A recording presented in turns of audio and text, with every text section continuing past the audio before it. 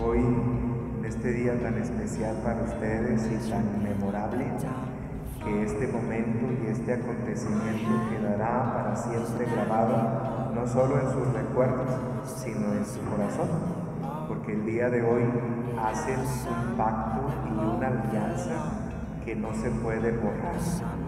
De tal manera que a partir de hoy tendrá que ser tan memorable este día como todos los demás días y todos los momentos y circunstancias que tendrán que vivir a partir de hoy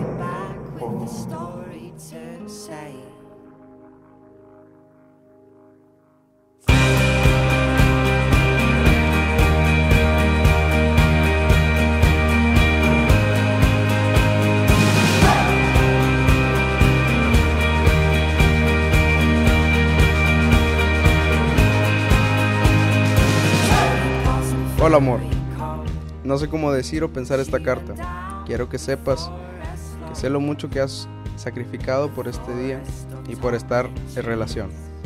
En estos momentos los cuales no son solo tus momentos, sino nuestros momentos. Solo quiero que sepas que te amo y que jamás dejaré de hacerlo. Que sé que no soy perfecto, que sé que no soy el hombre más guapo del mundo, pero lo que sí sé es que soy el amor de tu vida así como tú lo eres. Para mí. Te amo y te extraño. Ya quiero estar a tu lado. Añoro estas vacaciones en las cuales disfrutaremos tanto. No en sí por la fiesta o por estar en la fiesta en sí, sino por el hecho de saber que estaremos juntos por siempre. Te amo, te adoro, eternamente eres mi vida inicial. Siempre estaré a tu lado, incondicionalmente. Te amo y no dejaré de hacerlo jamás.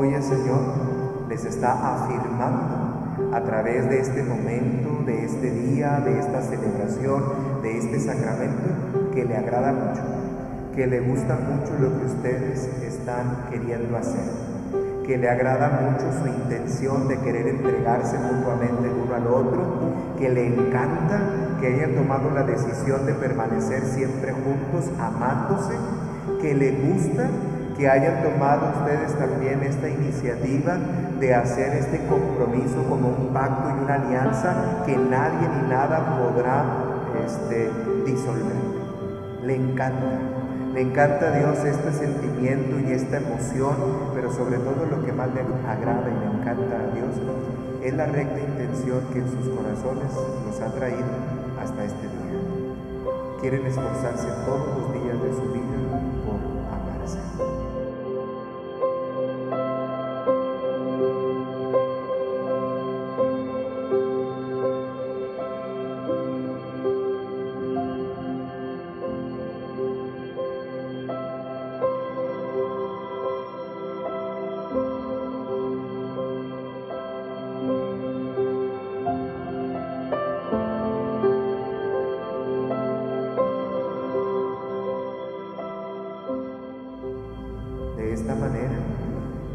Esfuércense día con día realmente por agradarle a Dios a través de su vida matrimonial.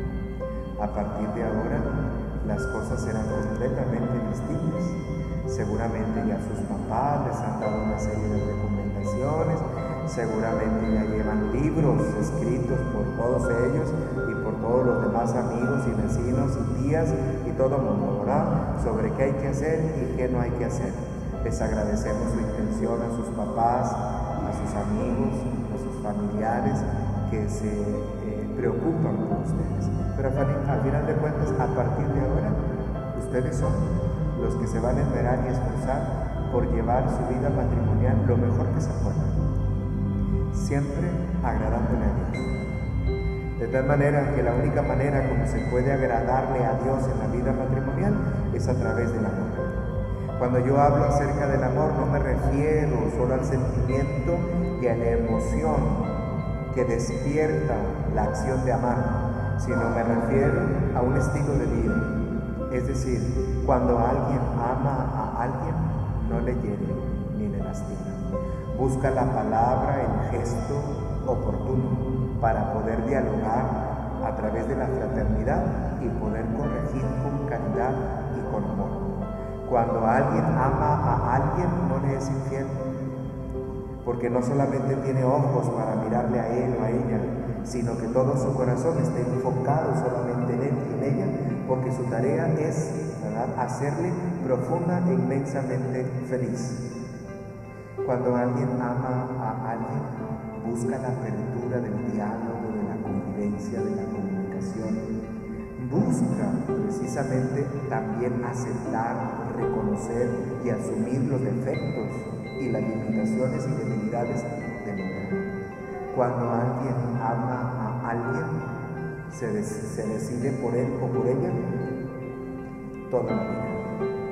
Cuando alguien ama a alguien, no es solamente por momentos o por ratos o por situaciones y circunstancias ama a esa persona con todo y circunstancias, situaciones, debilidades, limitaciones y todos los momentos de la vida.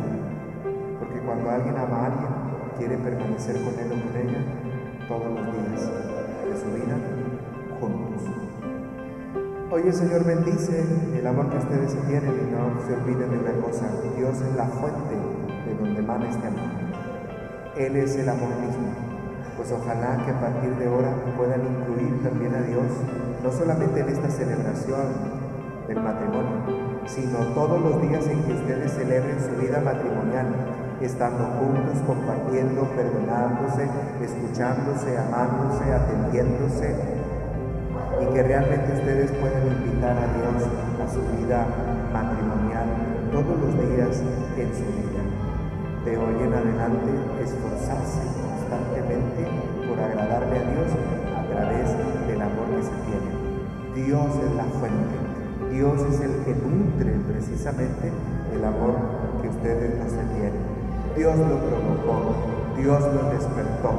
Ojalá que a partir de ahora en su vida matrimonial le sigan permitiendo realmente a Dios seguir provocando, seguir despertando este amor que Él ha depositado en ustedes. Hay muchos matrimonios que solamente se acercan este día cuando se van a casar y luego después, de sabe cuánto tiempo más, se acercan a Dios nuevamente. Ojalá que su vida matrimonial no sea de esos, porque matrimonios así, que estén alejados de Dios, ya tenemos muchos. Ya tenemos muchos, no nos hace falta más, porque ya tenemos muchos matrimonios desubicados y desorientados porque no han querido invitar a Dios a formar parte de su vida matrimonial. Ya tenemos bastantes. Bastantes. Matrimonios que no se acerquen a Dios, que no quieran servirle a Él, que no quieran estar cerca de Él, matrimonios que no quieran orar, que no quieran escuchar su palabra, que no quieran celebrar y darle gracias por todas las bendiciones que les da, ya tenemos bastantes. Ojalá que ustedes no sean caso, que el caso de ustedes sea un matrimonio que no solamente se dedica a alabar, bendecir y glorificar a Dios en el respeto y en el amor, en la justicia, en la verdad que se tienen, sino también en todo lo demás, servir a la iglesia, estar cerca de Él. Hoy el Señor los invita a que descubran que estando cada vez más cerca de Él, bueno, no les va a solucionar las broncas ni los problemas, pero yo les garantizo que estando cada vez más cerca de Dios, las broncas y los problemas que tengan que enfrentar seguramente serán menos complicadas, porque Dios habrá de depositar en su corazón la fortaleza y la fuerza necesaria para seguir emprendiendo juntos y afrontando y confrontando juntos en el amor que se tiene todos los problemas y situaciones que tengan enfrentar. El Señor Jesús hoy les invita en el Evangelio a que no se den permiso, permiso de, de permitir que otras cosas se vayan filtrando en su vida matrimonial. Cuidado, cuidado con la enfermedad de moda, el estrés porque por el estrés nos justificamos la falta de atención al esposo, a la esposa, que por el estrés y el exceso de trabajo nos justificamos nuestra falta de diálogo, de compromiso, de atención. Cuidado, no permitirnos que este tipo de cosas afecten nuestra vida matrimonial. No se permita la indiferencia, cuidado, porque esto lleva al fracaso rotundo de una vida matrimonial, la indiferencia. No se permitan la mentira, el engaño, no se permitan el odio, el rencor, el orgullo, no se permitan, no se permitan todas estas cosas que no les van a ayudar en nada. Más bien permítanse el amor, el respeto, la paciencia, la tolerancia, la comprensión, el perdón. Que el Señor nos siga bendiciendo abundantemente, que nuestras oraciones, sé que no es suficiente, pero que todas estas personas que están aquí, que los quieren y los aman, se acuerden de vez en cuando, ¿verdad?, de ustedes y que pidan por ustedes a Dios en sus oraciones. Tania Leticia, Shelby Osnel, han venido aquí a contraer matrimonio por su libre y plena voluntad, sin que nada ni nadie los presione. Sí. Sí, vengo Sí, vengo libremente. ¿Están ustedes dispuestos a ser fieles el uno al otro en el matrimonio durante toda la vida? Sí, estoy dispuesto. Sí, estoy dispuesto. ¿Están dispuestos a recibir de Dios responsable y amorosamente los hijos y educarlos según la ley de Cristo y de su iglesia? Sí, estoy dispuesto. Sí, estoy dispuesto. Sí, estoy dispuesto. Así pues, ya que quieren establecer entre ustedes esta santa alianza del matrimonio, unan sus manos y expresen su consentimiento delante de Dios y de su iglesia. ¿Yo? Ahora di solo tu nombre. Shelby Osnel Arguello Tobar. Te acepto a ti. Te acepto a ti. Di su nombre. Tania Leticia González Salinas. Como mi esposa. Como mi esposa. Y prometo serte fiel. Y prometo serte fiel. En las alegrías. En las alegrías. Y en las penas. Y en las penas. En la salud. En la salud. Y en la enfermedad. Y en la enfermedad. Y amarte. Y amarte. Y respetarte. Y respetarte. Todos los días de mi vida. Todos los días de mi vida.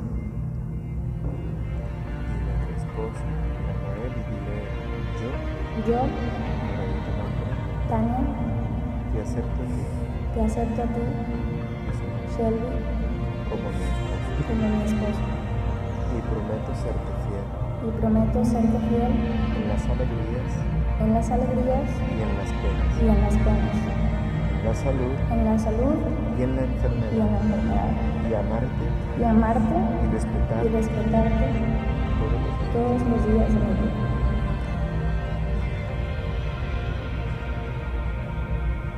El Señor confirme con su bondad este consentimiento que han manifestado ante la iglesia y cumplan ustedes su bendición y lo que Dios acaba de unir, que nunca lo separe el hombre.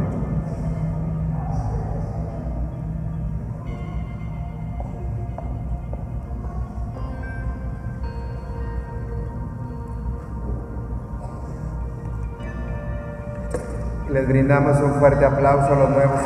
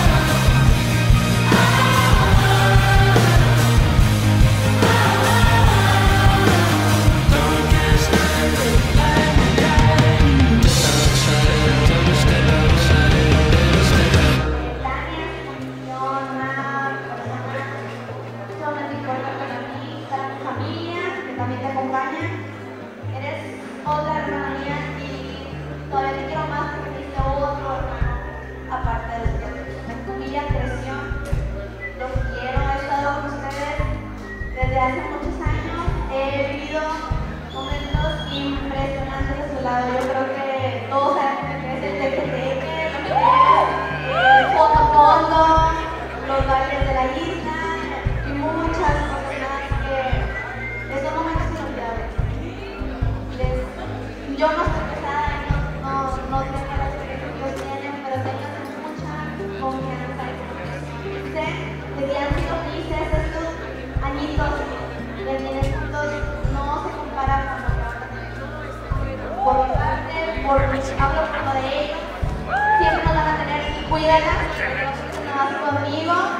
con todos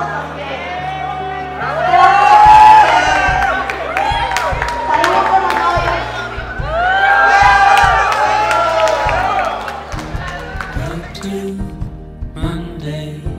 Something's not the same. Blank head, crossed eyes, sweep the floor. Feel your presence.